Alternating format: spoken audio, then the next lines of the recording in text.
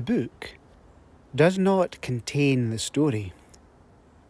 It holds it there, waiting to be set free in the telling, restless to be heard by the world, ready to renew us through every word.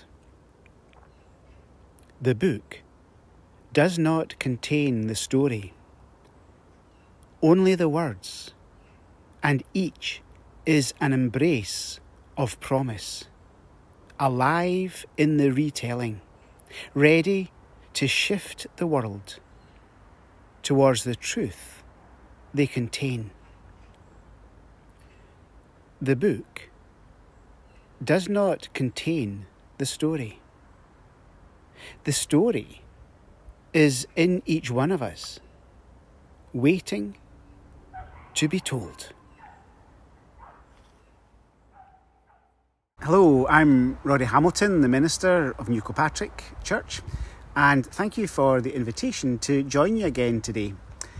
I wonder how many of us will have a story to tell after the summer of places that we've been to, holidays that we've made, people we've met, experiences that we've shared. It's one of the things that seem to be uniquely human in us the ability to tell stories and find in these stories meaning. We are people of the story. Now, that's a faith statement.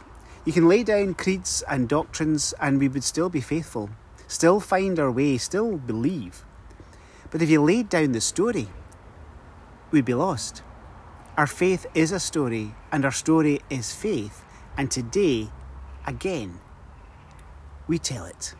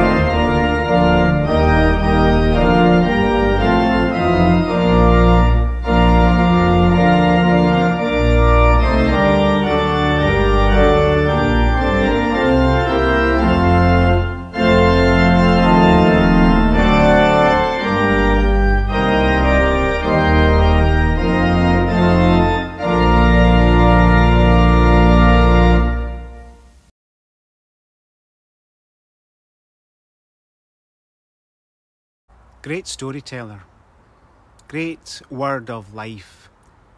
May we listen, hear, reflect, retell the story of our faith.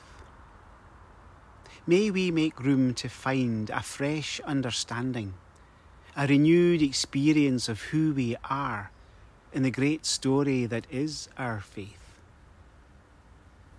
Dare we let go our presumed creeds?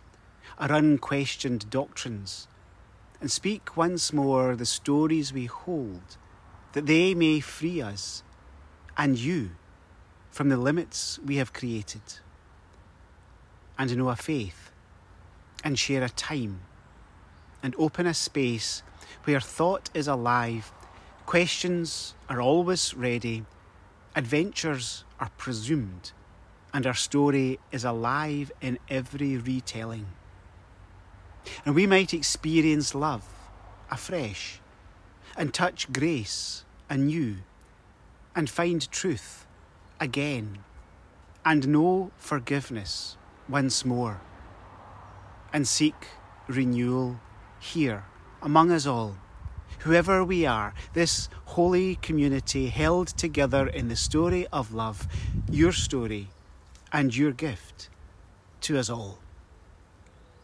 Hear us as we say the global prayer together. Our Father, who is in heaven, hallowed be your name. Your kingdom come, your will be done on earth as it is in heaven. Give us today our daily bread, and forgive us our debts as we forgive our debtors. And lead us not into temptation, but deliver us from evil. For yours is the kingdom, the power, and the glory forever. Amen.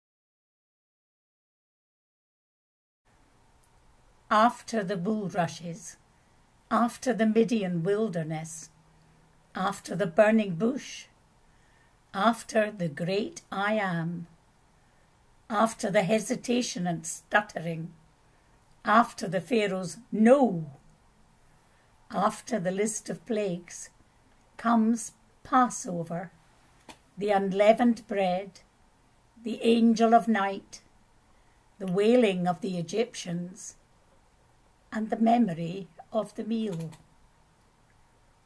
You shall observe this rite as a perpetual ordinance for you and your children.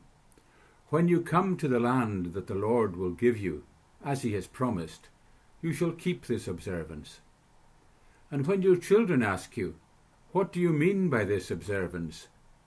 you shall say, It is the Passover sacrifice to the Lord for he passed over the houses of the Israelites in Egypt when he struck down the Egyptians, but spared our houses. And the people bowed down and worshipped.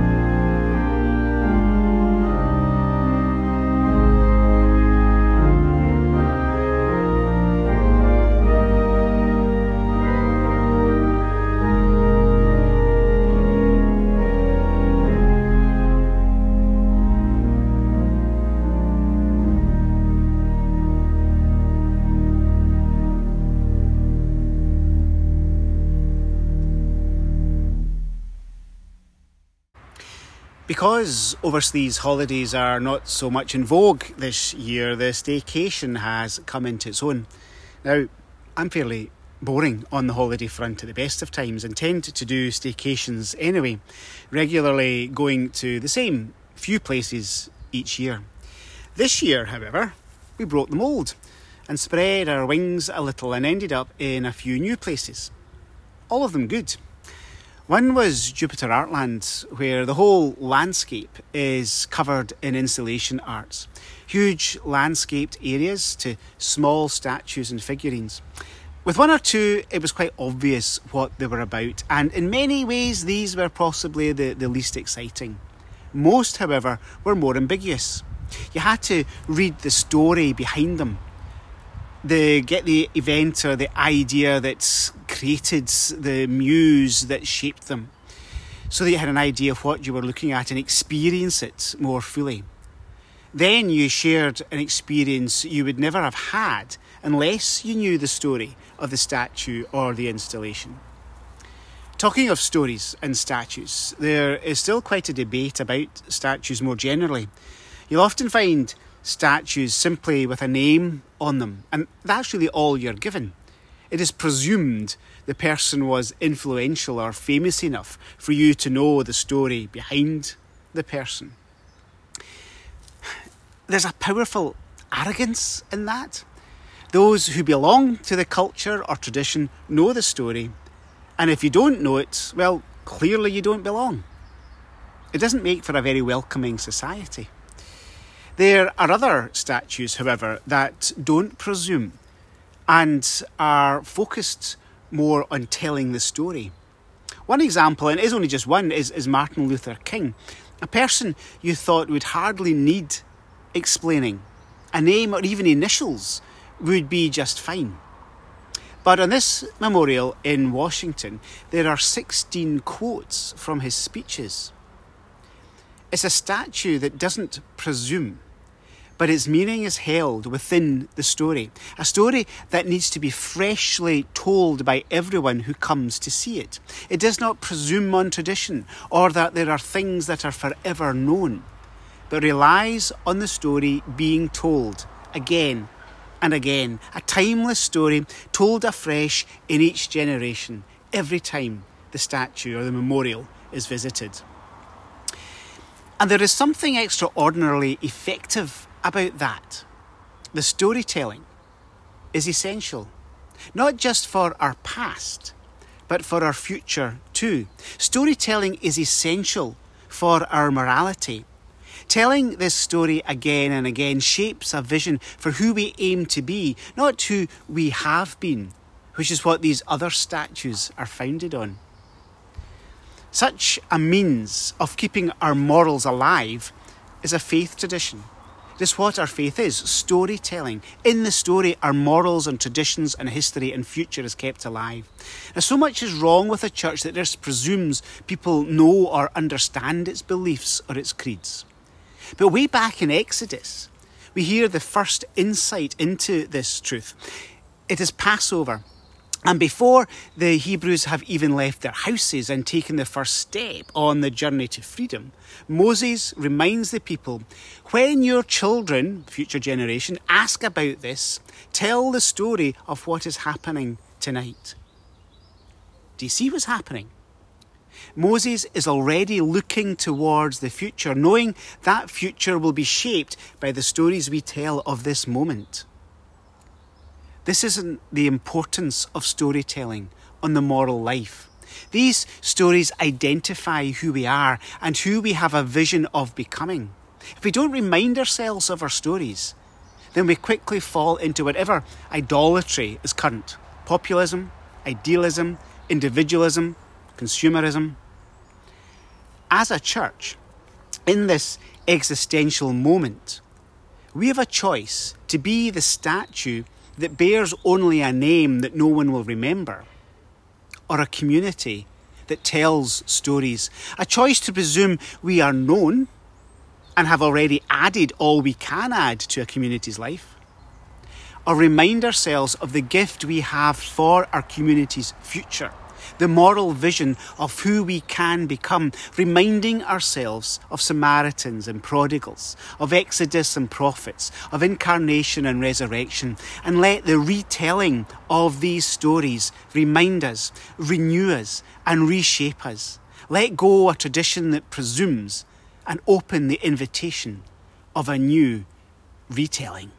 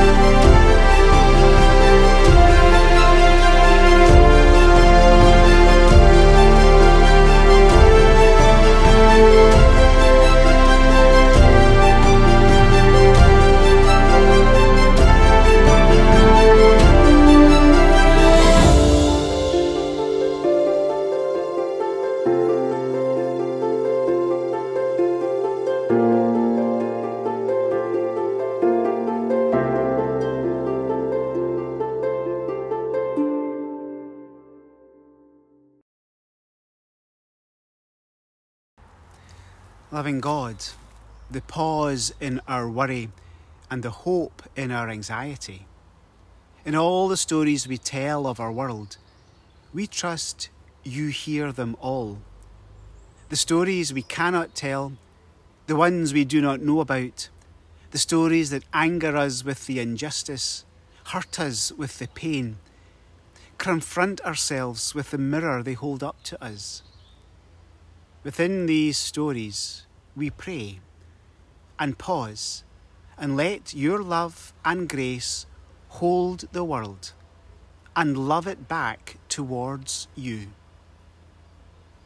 May we all find our morals again that move us towards each other, that shape a space for the diversity of us all, that levels the ground between rich and poor, powerful and powerless an ethic that speaks of love, prioritises a life shared, a planet that is healthy and equal, communities that are open and generous.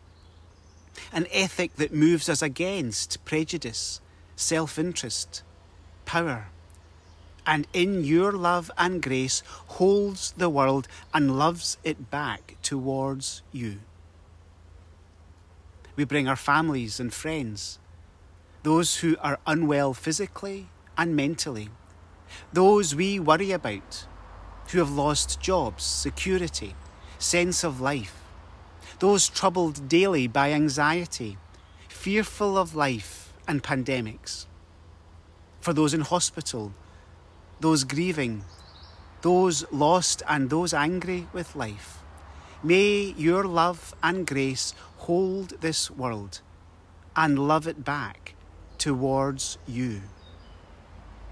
And for all of us, trying to find a way forward, confused by where we are and who we are, unable to see what the future will be, and finding days difficult, coping with changes and different needs and attitudes, worried about safety and institutions and community.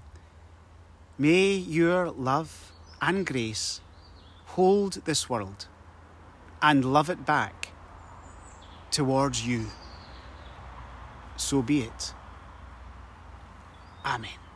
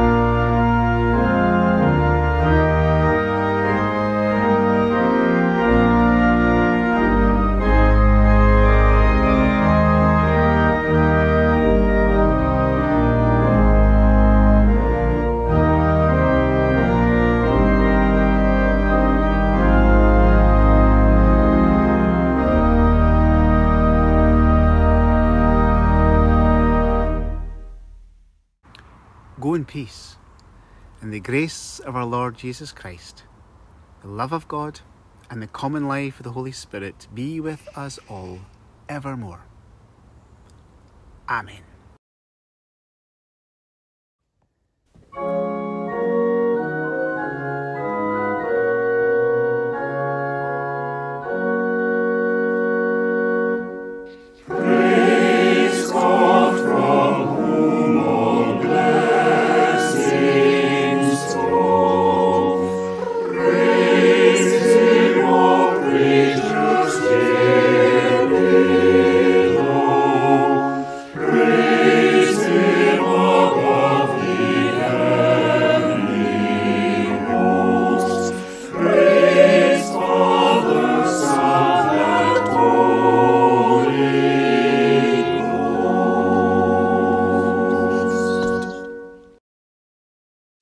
Thank you for letting us join you today. We are ever available online with past services and podcasts and prayers and information and bulletins and a whole bundle of other things. We're still in summer mode, so things are quiet, but planning is now happening behind the scenes as to how we will be over the next few months and what activities we will be able to take part in. Thanks to Kirstine and Ian for reading, Chris for playing, and all of you for being here. Hope to meet you again next time. Have a good week and take care of each other.